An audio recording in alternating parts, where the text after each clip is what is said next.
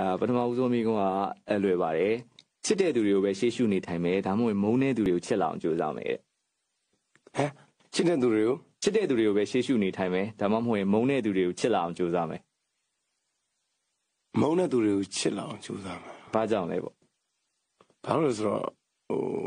ဘယ်လိုပြောမလဲမုန်းတဲ့သူတွေချစ်လာအောင်ကြိုးစားမှာဆိုတော့မုန်းတဲ့သူရှိတာမကောင်းဘူးလားတကယ်တော့အားလုံးကိုယ်ကိုချစ်လာအောင်မြစ်တာနဲ့ပဲပြန်တုံ့ပြန်လိုက်မလို့အဲ့လိုအဲ့လိုအဲ့လိုမျိုးပေါ့ ချစ်တဲ့သူတွေအရန်များလာတဲ့အခါကျရင်လေဟိုဘယ်လိုပြောမလဲကောင်းတော့ကောင်းပါချစ်တဲ့သူတွေရှေ့ရှုနေတယ်မုန်းတဲ့သူတွေကိုချစ်လာအောင်လုပ်ဖို့ကပို့ပြီးတော့လည်းခက်မယ်နော်ခက်မယ်နော်အဲ့ဒါကြောင့်